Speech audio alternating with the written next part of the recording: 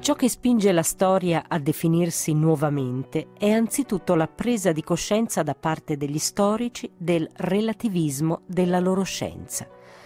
Essa non è l'assoluto degli storici del passato, provvidenzialisti o positivisti, ma il prodotto di una situazione, di una storia questo carattere singolare di una scienza che dispone di un unico termine per definire il proprio oggetto a se stessa,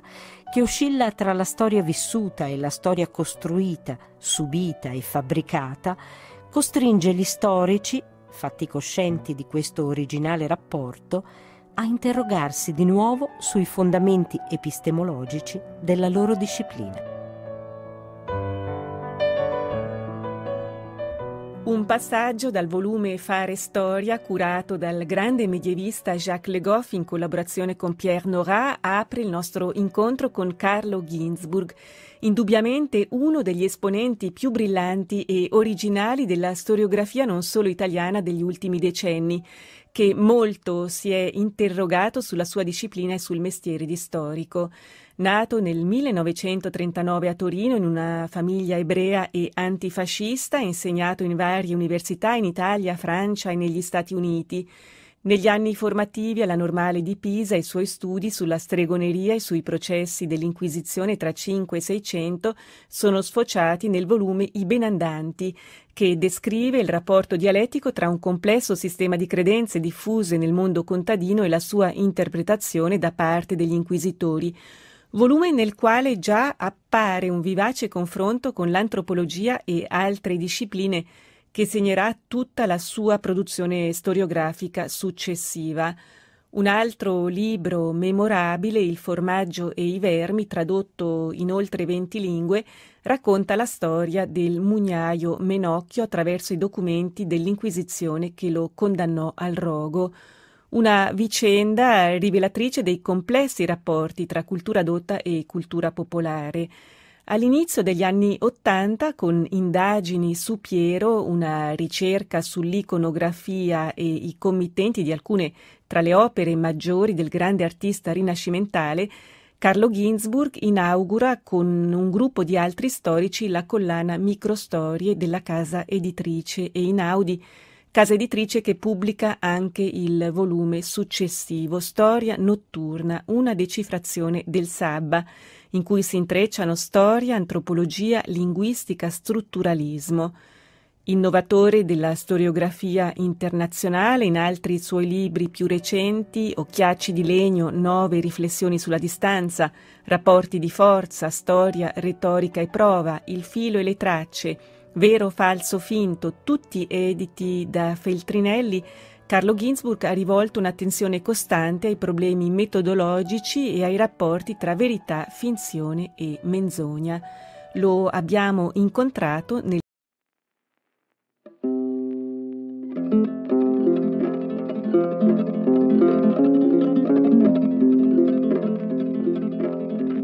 Carlo Ginzburg, siamo nel suo studio gremito di libri che occupano quasi tutto lo spazio disponibile, libri legati ai suoi studi e ai suoi interessi, naturalmente, quindi arte, storia, antropologia, letteratura, quanto hanno contato queste letture in quelle che qualcuno ha definito sue invasioni di campo in altre discipline, nell'antropologia, nel volume Storia notturna, nell'arte, nel libro che le ha dedicato a Piero della Francesca, nel diritto con un altro suo volume che ha fatto molto discutere, Il giudice e lo storico, e poi anche nella letteratura nei suoi ultimi libri, direi. Sì, ma mi è capitato di dire che per me la storiografia è come un aeroporto da cui si va in tante direzioni o una stazione in cui si prendono treni in tutte le direzioni, cioè non è una specie di fortezza chiusa, questo non mi sembrerebbe assurdo. Quindi diciamo il trovarsi al centro di discipline diverse mi pare quasi ovvio in una ricerca che non eh, si voglia ritagliare dei limiti precostituiti, nel senso che non c'è un'armonia prestabilita fra i temi e le discipline, siamo eventualmente noi che la creiamo a posteriori, ma forse perdendo qualcosa. E il dialogo con altre discipline mi pare sempre fortificante, cioè si imparano modi di lavorare diversi, però i temi poi sono lì nella loro complessità e poi, poi c'è l'imparare che è una delle cose più belle che ci siano, quindi addentrarsi in eh, territori sconosciuti. Una volta ho parlato di euforia, di ignoranza, proprio per eh, sottolineare questo elemento del non sapere, del trovarsi un po' sperduti di fronte a dei temi o dei personaggi di cui non si è mai sentito parlare e poi si impara. Lei, eh, Carlo Ginzburg, si è formato alla Normale di Pisa eh, sotto la guida di grandi maestri Delio Cantimori, Arsenio Frugoni, Armando Saitta, Augusto Campana, Arnaldo Momigliano. Sin da giovane studente ha avuto il privilegio di dialogare con grandi intellettuali del Novecento. Questi maestri in che misura hanno segnato il suo mestiere di storico? Ma molto, eh, naturalmente ci sono stati questi, poi ci sono stati molti altri, ho continuato a incontrare persone che mi hanno insegnato molto anche quando ormai non ero più giovanissimo e questo penso sia stato un privilegio. Le persone che lei ha elencato erano persone molto diverse tra loro, alcuni non si frequentavano e diciamo che questa diversità era un elemento di sfida, di provocazione. Così tutte le persone che lei ha elencato non ci sono più e con alcuni di loro il dialogo continua, continua molto fitto. Queste sono, persone che ho incontrato fisicamente, poi ci sono quelli che ho incontrato eh, sui libri, Mark Bloch, eh, oppure io sono andato, ormai avevo più di 30 anni, sono andato negli Stati Uniti a Princeton e, e lì sono stato tre mesi, ho partecipato a un seminario che era diretto da Stone, Lawrence Stone, e ingenuamente pensai, era la mia prima visita negli Stati Uniti, che era un tipico seminario americano, in realtà non lo era affatto, era tipicamente inglese, molto diverso da, da diciamo, altri seminari che poi frequentai in America. E appunto cito questo perché sì, non ero più uno studente, ma ho avuto la sensazione di imparare moltissimo, uno stile di discussione soprattutto che in realtà era molto diverso da quello che avevo appreso a Pisa quindi moltissimi incontri hanno segnato il suo lunghissimo mestiere di storico, un mestiere che lei esercita da ormai un quarantennio, dunque eh, anche di più naturalmente, ma tornando a questi grandi maestri, primi maestri, si ha l'impressione che lei sia andato oltre l'insegnamento di questi suoi maestri, rompendo in un certo senso con la tradizione e imboccando la via dell'interdisciplinarità in un momento in cui ancora pochi la praticavano, oggi è ormai divenuto un termine molto di moda anche in ambito accademico. Io trovo che è normale che uno studente vada oltre quello che ha imparato, diciamo, e questo è quello che tutti coloro che insegnano dovrebbero augurarsi, penso. Certo, alla fine degli anni 50 il dialogo tra storici e antropologi effettivamente non si era ancora manifestato e a sollecitarmi in quella direzione c'è stato innanzitutto il tema che avevo scelto, cioè i processi di stregoneria. Lì eh, il dialogo con gli antropologi era in qualche modo necessario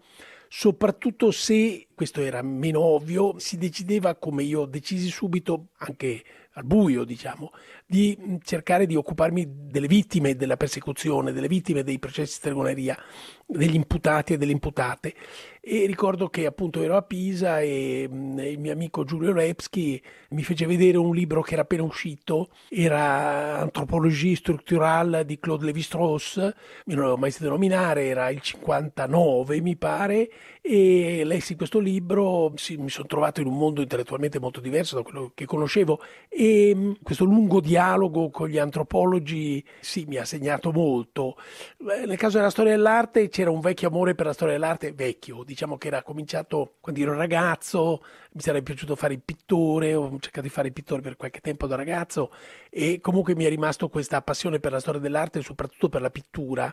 e quindi mm, sì, è un campo di ricerca che mi sollecita molto. L'ultimo libro che è uscito mio, sono uscito in francese, si chiama Peur, Révérence, Terreur e sono quattro saggi di iconografia politica e posso anticipare che ne uscirà una versione italiana con lo stesso titolo ma con un saggio in più, quindi saranno cinque saggi di iconografia politica. Immagino da Feltrinelli. No. no.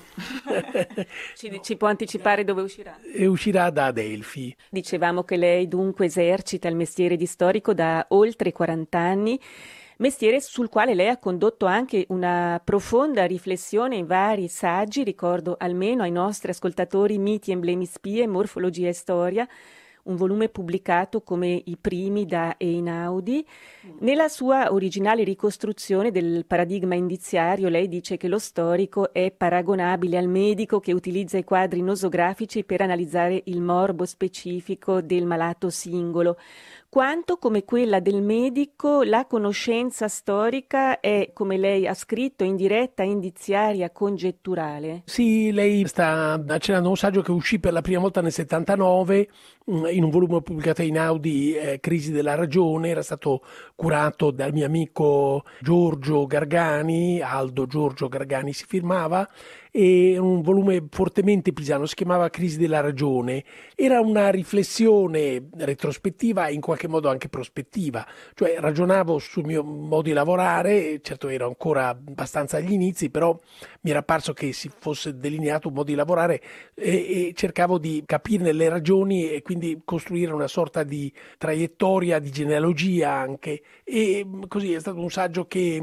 mi ha segnato molto, per questo dico che c'è un elemento anche prospettivo e è un saggio appunto che in realtà proponeva questo termine nel sottotitolo paradigma indiziario che poi non ho più usato per moltissimo tempo perché mi dava fastidio l'idea di essere associato a una specie di logo come si direbbe oggi, però questa idea degli indizi è qualcosa su cui ho continuato a lavorare e su cui lavoro proprio ancora in questi giorni in realtà. Um, Quindi non ha mai abbandonato questo paradigma? Diciamo che non ho mai lavorato, bah, se, se, si vuole, non ho mai lavorato, abbandonato questo paradigma, non ho abbandonato un certo modo di lavorare, anche se l'idea è quella di saggiare questo modo di lavorare su temi molto diversi. Quindi direi che sì, c'è una radice soggettiva in quella che lei ha chiamato interdisciplinarità, cioè forse perché, me ne sono reso conto recentemente, c'è stata una maturazione relativamente precoce in termini di capire cosa volevo fare e quindi per sfuggire al rischio, diciamo, della ripetitività ho cambiato continuamente temi. Quindi c'è una continuità, ma in una discontinuità di temi. Del resto lei ha vissuto anche un clima culturale particolarmente vivace e interessante vicino anche alla casa editrice Einaudi, sua madre scrittrice, il padre celebre filologo, quindi indubbiamente questi elementi hanno segnato anche il suo percorso successivo, immagino. Uh, sì, sì, certamente, certamente questo è qualcosa che mi ha segnato in profondità e certo sì, il, il clima di Einaudi allora, quello che era allora, eh, certo mi ha segnato molto profondamente. Ma i tempi cambiano molto e uno si trova di fronte a interlocutori diversi, a problemi diversi.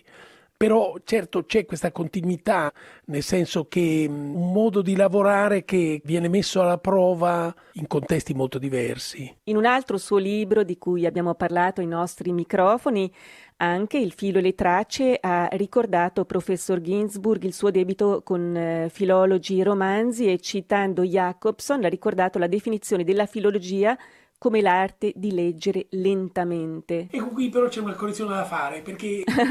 non sono solo i filologi romanzi, in realtà questa frase è una frase di Nietzsche e nella sua prolusione, quindi diciamo allora Nietzsche era un filologo classico e poi vabbè è diventato un filosofo, ma pur senza perdere diciamo degli elementi della sua radice, della sua originaria formazione filologica, però questa definizione di filologia eh, certo mi pare molto bella, questa idea del leggere lentamente, eh, penso che mi attrae molto anche perché io ho una tendenza a correre, alla rapidità e quindi è una rapidità che va contrastata, altrimenti se no si combinano dei, dei, disastri, si fanno degli errori, si rimane vittima delle prime impressioni, quindi penso che sia questa combinazione di velocità e però tornare sui propri passi e quindi appunto la lentezza. Allora grande debito verso la filologia e in particolare verso questa arte di leggere lentamente che applicata ai testi non letterari le ha consentito di recuperare voci deformate e distorte da pressioni, le voci, come diceva prima, delle vittime che di solito sono documentate solo dal punto di vista dei vincitori. E lei, eh, professor Ginsburg, per discendenza ebraica e scelta intellettuale, si è sempre identificato con il mondo delle vittime, facendosi naturalmente mediatore tra il mondo degli sconfitti e noi contemporanei. Quanta cautela richiede nell'utilizzo degli strumenti di traduzione questo lavoro? E questa è una buona domanda. Diciamo che certo io sono partito da quest'idea di cercare di cogliere queste voci delle vittime e c'era indubbiamente una,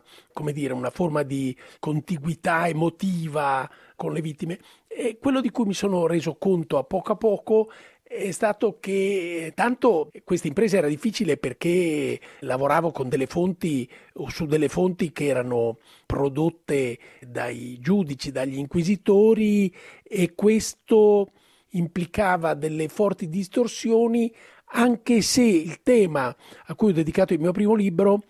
I benandanti, era un tema in cui c'era come uno scarto fra i giudici e le vittime, cioè gli imputati, quindi i giudici non capivano quello che dicevano gli imputati, erano colti di sorpresa. Un fenomeno da un certo punto di vista eccezionale, che però mi pare, ho cercato di riflettere su questo per molti anni, era possibile partire da questo tema per cercare di porsi un problema più ampio, quello delle origini del sabba stregonesco o perlomeno dello stereotipo inquisitoriale del sabba stregonesco.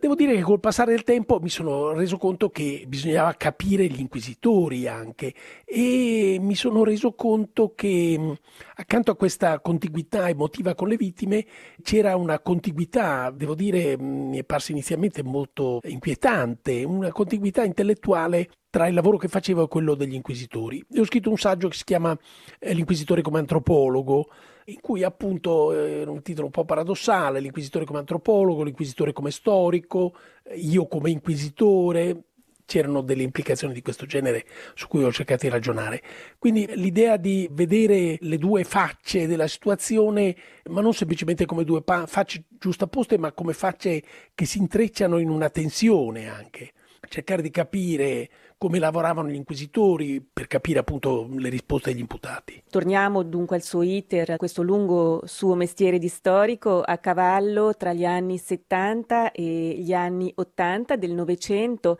Nasce in Italia in opposizione ai grandi sistemi di analisi e interpretazione marxista, struttural funzionalista e quantitativo della scuola francese dell'Annal un nuovo orientamento storiografico che si afferma con il nome microstoria.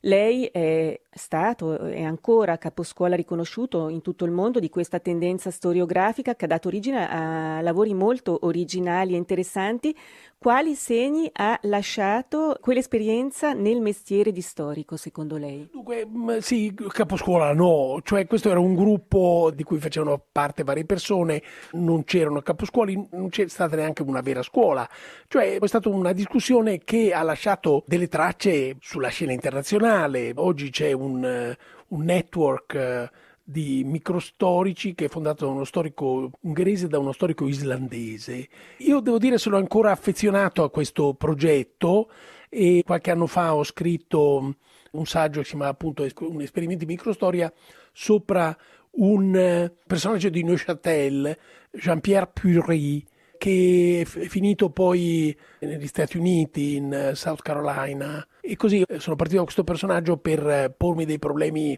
ho addirittura intavolato una specie di discussione metaforica tra Marx e Weber, partendo proprio dal caso di Pury.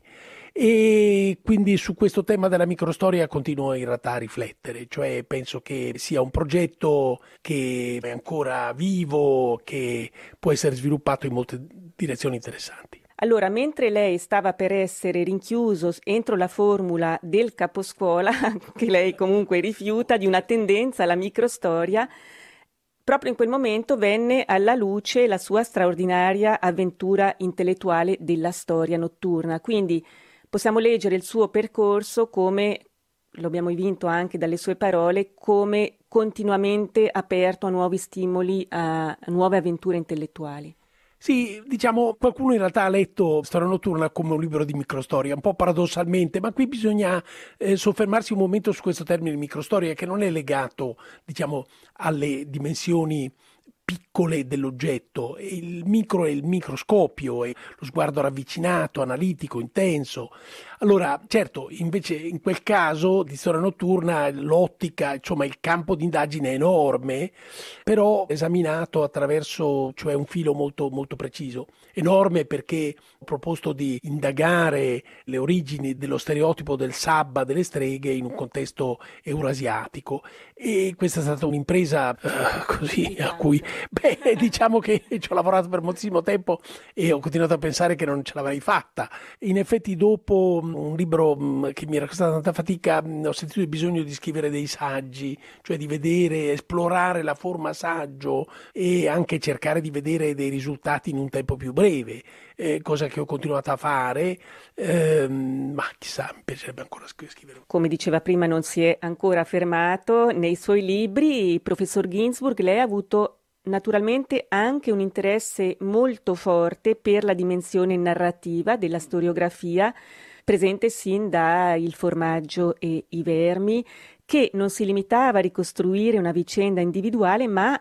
anche la raccontava. Forse anche da qui viene lo straordinario successo di questo volume tradotto in innumerevoli lingue. Quanto è importante, secondo lei, la dimensione narrativa nel mestiere di storico? Ma è assolutamente centrale, nel senso che anche un saggio di storia quantitativa racconta qualcosa. Diciamo che mm, io ho avuto il senso di essere coinvolto in un progetto narrativo fin dal mio primo libro, mm, eh, I Benandanti, e poi certo nel libro che lei ha menzionato, ma direi che un elemento narrativo c'è anche, almeno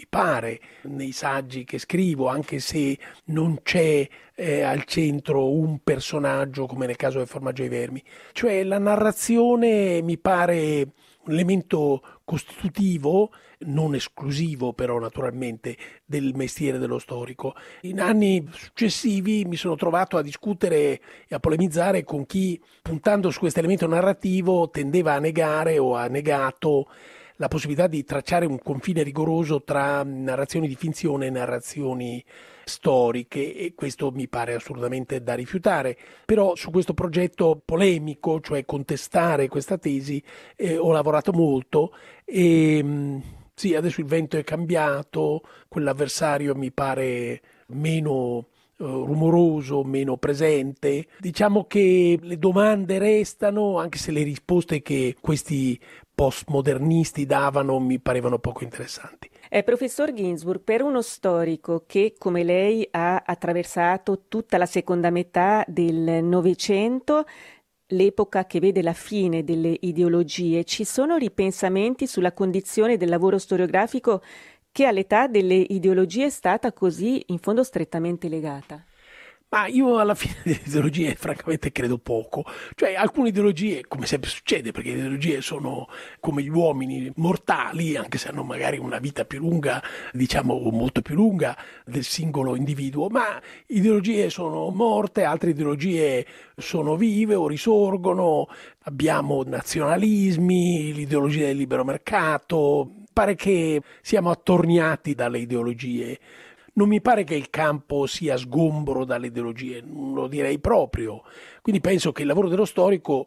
come dire, si nutre di domande che possono essere suggerite anche dalle ideologie, però deve poi mettere alla prova queste domande sui documenti, cercare di provare le proprie affermazioni. Quindi le ideologie, diciamo, nutrono il lavoro dello storico e tendenzialmente anche lo accecano. Quindi è in questo dilemma che ci si muove, in questa tensione. Attualmente molte insidie minacciano lo storico di professione, un mestiere che alcuni considerano addirittura una polverosa eredità di una casta inutile allora ci possiamo porre problemi come questo largo consumo della storiografia, non solo sul mercato editoriale, ma su tutti i mezzi di comunicazione di massa, l'avvento dei social media con le loro storie e controstorie, la riduzione della storia nei programmi scolastici, l'apparente deprofessionalizzazione che lo studio della storia attraversa persino nei percorsi formativi delle università, in quei caratteri costitutivi che un suo maestro, Marc Bloch, riservava al mestiere di storico. Condivide questi timori? Lei ha menzionato naturalmente dei fenomeni molto contraddittori, sì, sono veri, si contraddicono a vicenda, eh, non è che vanno in un'unica direzione, quindi c'è appunto il largo consumo, ci può essere l'impazienza nei confronti del lavoro lento per l'appunto degli storici, ma però anche queste cose, sì, eh, diciamo, esistevano anche in passato, certo i media sono diversi, adesso sono altri in parte, ma l'importante però è di far fronte a queste sfide, cioè io non credo che così in passato le cose fossero migliori, nel senso che gli storici sì, gli storici hanno avuto, diciamo, certamente, pensiamo alla prima metà dell'Ottocento, un momento di grande prestigio anche sociale, è vero, ma insomma io non sarei l'ultimo a rimpiangere una, una situazione del genere. Diciamo che il mestiere è lì che cambia, cioè basterebbe pensare appunto alla cosiddetta globalizzazione, cioè diciamo il fatto che il mondo sia da un lato lacerato da tensioni, ma dall'altra parte unificato da una serie di fenomeni, a cominciare naturalmente dai mezzi di comunicazione. Questo ha cambiato anche il lavoro dello storico, ma eh, diciamo è una sfida. Io penso che dire che il mestiere dello storico è lo stesso sarebbe assurdo, dire che ha perso la propria ragion d'essere sarebbe altrettanto assurdo. D'altra parte lei è sempre stato aperto, come dicevamo, a innumerevoli sfide intellettuali. Qual è a suo avviso il campo di studi storici oggi più promettente, più diciamo interessante, più dinamico? Se, uno, se ne esiste. Sì, ma questa domanda mi era stata arrivata in passato. Io, sempre col senso di dire una cosa un po' paradossale, dicevo la storia politica. Nel senso, la storia politica che diciamo è stata identificata con la storia tradizionale, eccetera, e certamente si può scrivere come un'infinità di altre storie in maniera tradizionale, potrebbe però essere aperta a degli esperimenti straordinari se riuscissimo a capire meglio come poi i meccanismi politici nel senso più lato del termine, quindi certo politica, politica sociale, vedendo tutto questo in un intreccio e cercare di capire come va il mondo, quindi politica in un senso così, lo dico appunto paradossalmente perché mi pare assurdo naturalmente l'idea che la storia politica sia di per sé una storia vecchia e tradizionale, per nulla, ma è certamente una storia da reinventare, questo non c'è dubbio come anche, non so, la biografia, eccetera, eccetera. Prima di congedarci, professor Ginsburg, un'ultima domanda alla quale in parte ha già risposto. Ci sono altri libri che attendono i suoi lettori? Uh, sì, bah, però forse questi è meglio parlare. Comunque la cosa a cui sto... Sì, progetti, diciamo, devo andare adesso in Guatemala dove, eh, tra poche settimane, dove è stata istituita una cattedra Marc Bloch e allora mi stavo chiesto di inaugurarla e quindi ho scritto un saggio, lo sto proprio ultimando in queste ore, possiamo dire, e quindi andrò lì a, partendo da Marc Bloch per ragionare sul mestiere dello storico.